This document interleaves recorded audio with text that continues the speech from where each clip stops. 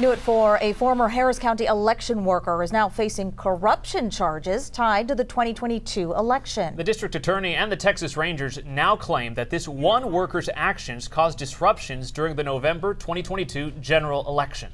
Sherman Chow joins us live from downtown where the district attorney made that announcement. Sherman.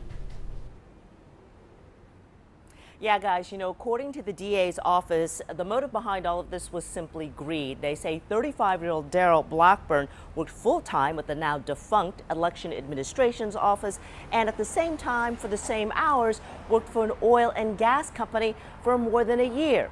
Blackburn was a data analyst for the Elections Administration office, and he was in charge of allocating paper ballots to polling stations. Investigators say he allocated the same number of ballots to 98% of all 700 some polling places, despite wildly different historical voter turnouts. The result was chaos. Long lines at polling places waiting for hours to be replenished with paper ballots. Prosecutors say, for example, on that particular election day, Blackburn claimed between his two jobs that he worked 26 hours. This is 15 months of sustained double dipping on timesheets.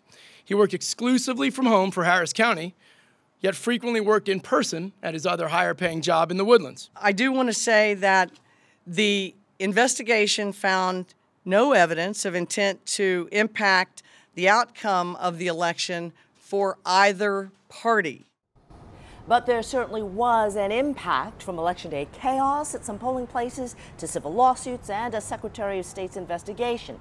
The oil and gas job, which earned him $250,000 a year, was not an approved second job by the county. The elections job paid him 90,000 that same year. He is charged with five counts of tampering with a document and one of theft by a public servant. Punishment ranges from two to 10 years in prison for these various charges. And at 5 o'clock, we'll explain how paternity leave left Blackburn in even deeper trouble.